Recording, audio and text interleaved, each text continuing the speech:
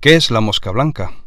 Cuatro puntos principales y más importantes debes tener en cuenta y debes recordar para responder a esta pregunta.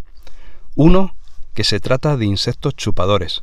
Vamos a decir que son insectos que muerden la planta para alimentarse de ella. En concreto, se alimentan del floema. ¿Y cómo se alimentan de las plantas? Pues con el punto número 2. Tienen un desarrollado aparato bucal picador chupador. Esto lo tienen también otros insectos como pulgones y cochinillas que pertenecen al mismo orden que la mosca blanca, que es el orden Homoptera. Tercer punto a recordar. Una de las características principales para identificar este insecto es que cuando está en reposo las alas cogen forma como de tejadillo, como de un tejadillo a dos aguas. Y cuarto y último punto, los adultos tienen el cuerpo recubierto de una fina capa de polvo blanco, así como de aspecto harinoso. Características generales de la mosca blanca. Tanto adultos como larvas ocasionan daños en las plantas, ya que como tienen ese aparato bucal picador chupador eh, tan desarrollado, lo introducen en los tejidos de las plantas para succionar la savia desde el floema.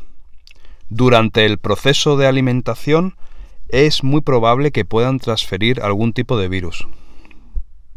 ¿Dónde las vamos a encontrar?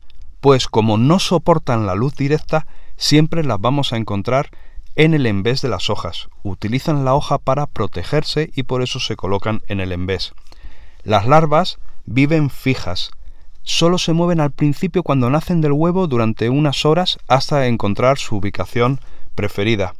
Segregan una, una sustancia cérea similar a la de algunas cochinillas y exudan una gran cantidad de melaza. Los adultos, que son muy pequeñitos, de 2 a 4 milímetros, tienen dos pares de alas recubiertas de ese polvo cerero de color blanco que les caracteriza, y son muy nerviosos, revolotean alrededor de la planta en cuanto se sienten descubiertas, y cuando ya están más tranquilas se depositan de nuevo en el embés de la hoja.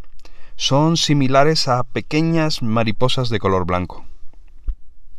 Suelen poner los huevos en forma circular, como puedes ver en la imagen. Son insectos polífagos que se alimentan de muchos tipos de plantas y normalmente se alimentan en las partes más tiernas, especialmente en las plantas situadas en lugares protegidos que mantengan unas condiciones de temperatura suave y humedad ambiental moderada o alta. Muchas familias de mosca blanca excretan líquidos azucarados, la melaza que comentábamos antes, y estos líquidos son muy apetecidos por las hormigas, al mismo tiempo que sirven de sustrato para un gran número de hongos conocidos como negrilla. Pero también hay otro tipo de familias de mosca blanca que producen agallas en las hojas, en los peciolos o en los tallos, y en algunos casos dan una coloración eh, anómala y también producen enrollamiento de las hojas. Ciclo de vida de la mosca blanca.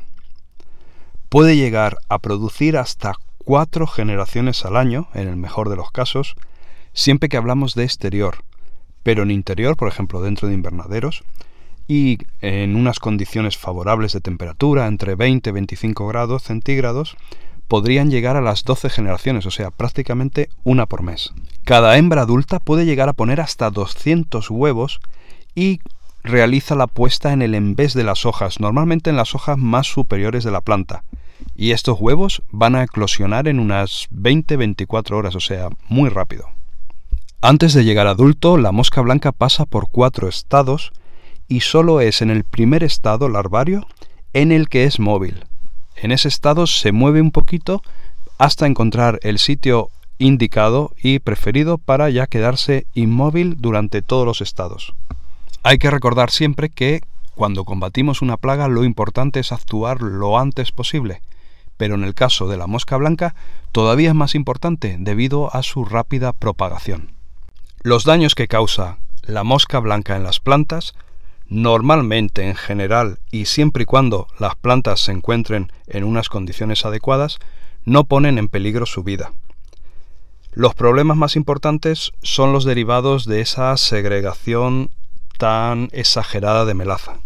Eso sí, la cosa se puede complicar si transmiten virosis u otras enfermedades, si los ataques son muy fuertes o se repiten muy a menudo, o si la cantidad de melaza ya es demasiado exagerada. Cuando la mosca blanca introduce su aparato bucal picador chupador y succiona la savia, se inyectan unas toxinas que provocan el debilitamiento de la planta.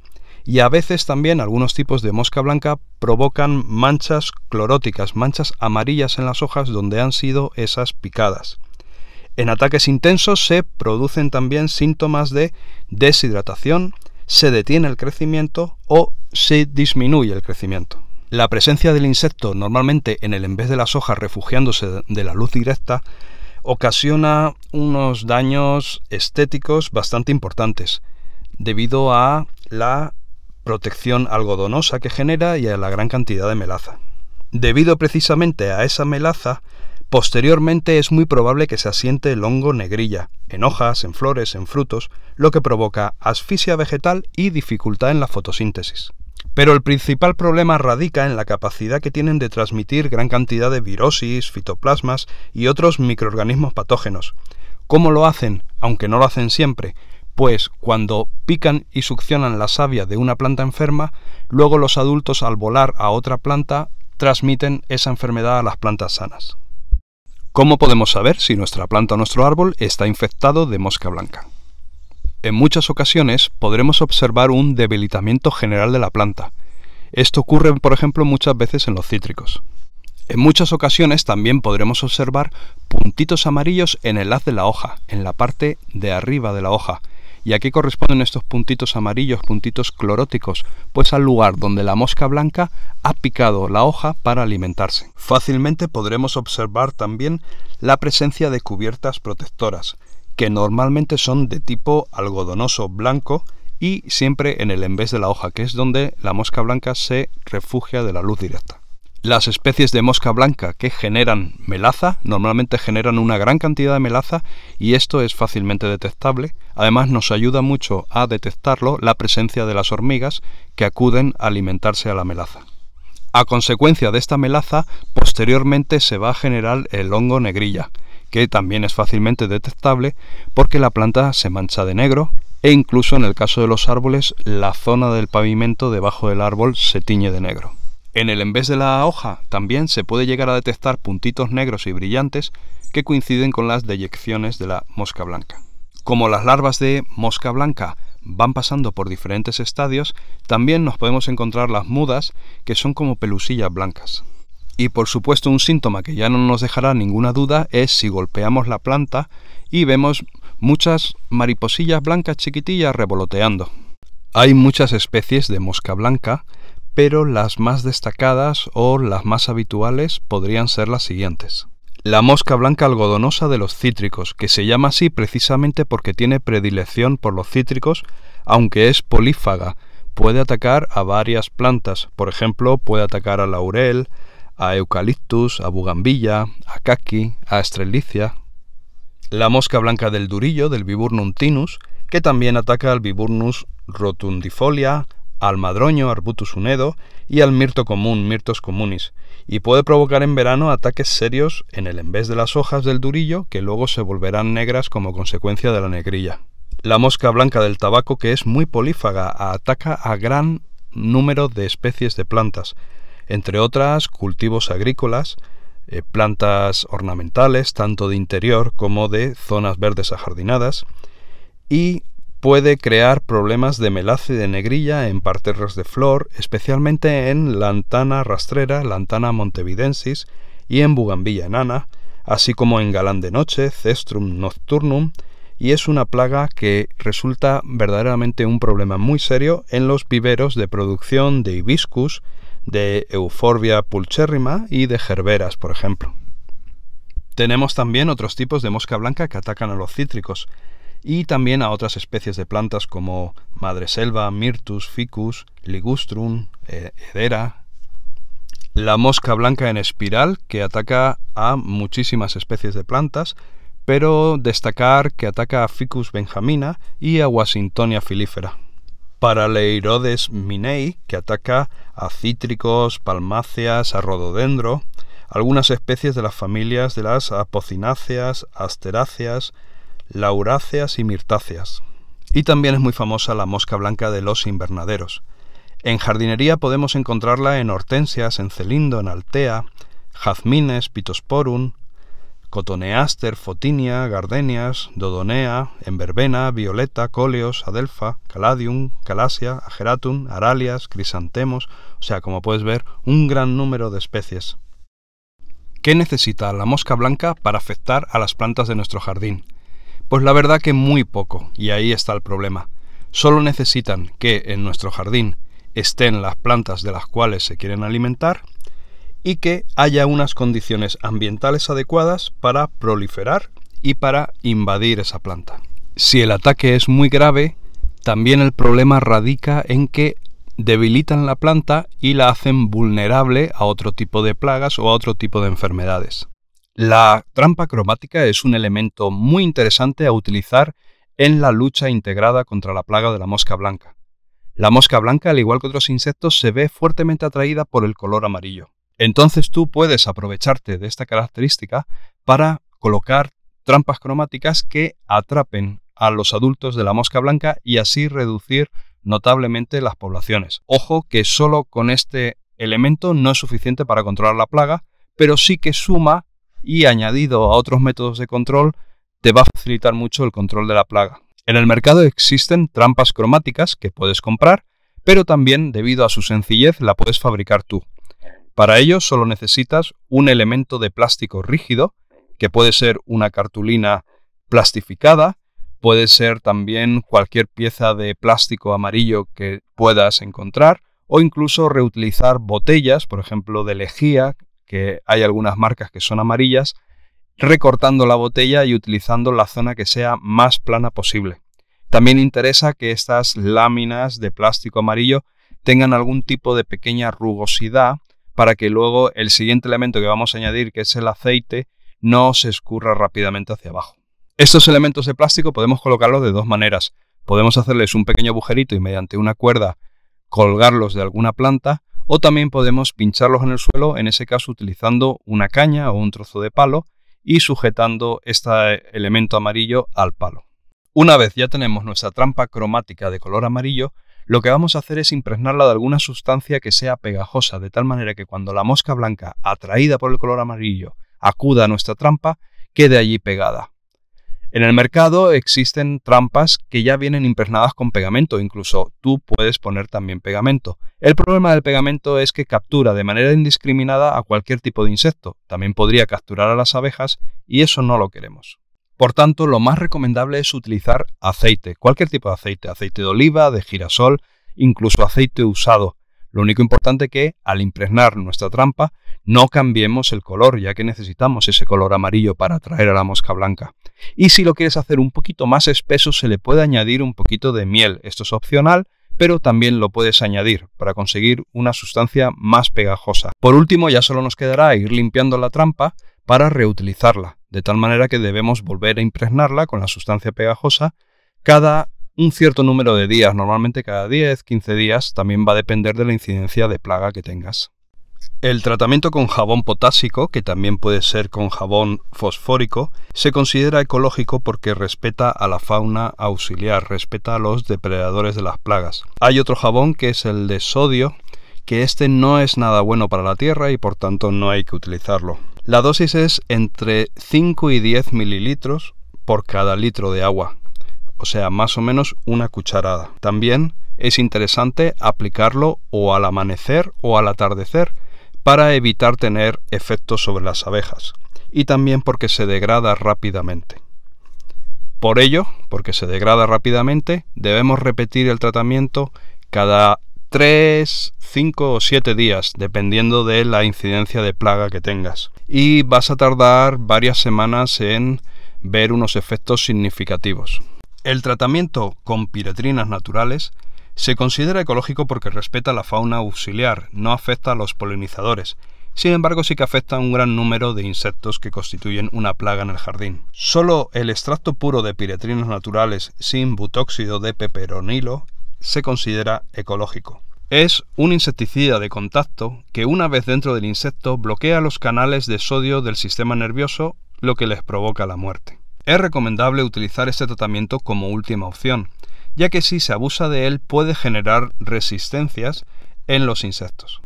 Se degrada rápidamente y debemos aplicarlo o al amanecer o al atardecer para tener el mínimo de incidencia sobre las abejas. Tiene un plazo de seguridad de 3 a 7 días en España se puede utilizar sin necesidad de carné de manipulador de productos fitosanitarios y suele venir mezclado, cuando lo compramos, con aceite de colza. La dosis es de entre 10 a 20 mililitros por cada litro de agua. La cáscara de los cítricos, ya sea limones, naranjas o mandarinas, contienen una sustancia que se llama limoneno esta sustancia, si entra en contacto con la plaga, ataca a su sistema nervioso y les puede provocar la muerte, y también tiene un efecto repelente. Para prepararlo tenemos que rayar la cáscara del cítrico, pero solo la parte amarilla o la parte naranja, sin llegar a lo blanco, solo la cáscara superficial, y depositarla en un cuenco. Hervimos agua, aproximadamente un litro o un poquito más, y lo juntamos en el cuenco junto a la cáscara de nuestro limón o nuestra naranja o nuestra mandarina. Lo removemos un poquito y lo dejamos reposar aproximadamente unas 24 horas.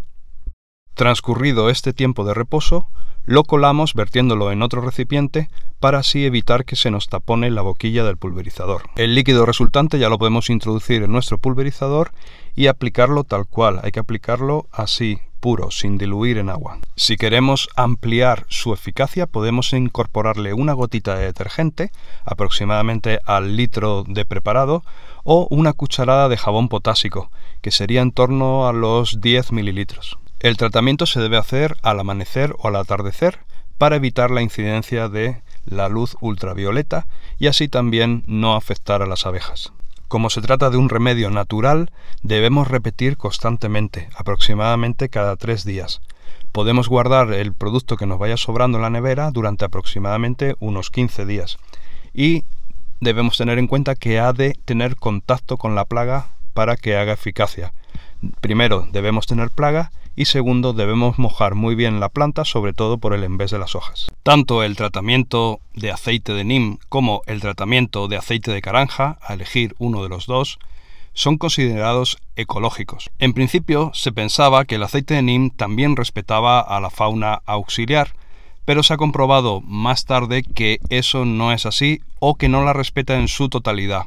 Sin embargo, se sigue considerando ecológico porque no afecta a los polinizadores, no afecta, por ejemplo, a las abejas. El aceite de caranja sí que respeta a la fauna auxiliar y por tanto sí que sería 100% ecológico. Ambos productos actúan sobre el sistema hormonal de los insectos y se ha demostrado que su uso incrementa las defensas naturales de las plantas y refuerza las paredes celulares de los tallos, aunque necesitan varios días para que se note su acción y su función preventiva es quizás mucho más potente que su función curativa. El plazo de seguridad para el aceite de NIM es de 3 días, sin embargo, el plazo de seguridad para el aceite de caranja es de 0 días. En España hace falta tener carnet de manipulador de productos fitosanitarios para poder comprar y aplicar el aceite de NIM, sin embargo, no hace falta ningún tipo de carnet para comprar y aplicar el aceite de caranja. Para que ambos tratamientos, ya sea el que es a base de aceite de NIM o utilizando aceite de caranja, sean más eficaces, es muy recomendable aplicarlo en conjunción con el jabón potásico, a una dosis de entre 3 y 5 mililitros por cada litro de agua. La dosis del aceite de NIM también está en 3 a 5 mililitros por cada litro de agua. Sin embargo, para el aceite de caranja nos podemos ceñir a los 3 mililitros por cada litro de agua. Y la repetición del tratamiento para que sea eficaz debería ser entre 3, 5 y 7 días en función de la incidencia que veamos que tiene la plaga en nuestra planta. El tratamiento con productos de extractos botánicos de la marca comercial IDAI podemos utilizarlo con efectividad cuando tenemos un nivel bajo de plaga, es decir, al inicio del ataque de la plaga. Los productos que debemos utilizar son Fosoap mezclado con Veges Beta y ir alternando cada 5 o 7 días con Veges Foswap otra vez, pero en esta ocasión mezclado con Veges Cuneca Plus. Las dosis las puedes ver en la imagen, están calculadas para 100 litros de agua, por lo que tienes que hacer la división para calcular la dosis por litro y ver cuánto te hace falta en tu mochila de aplicación, ya que se aplica pulverizando.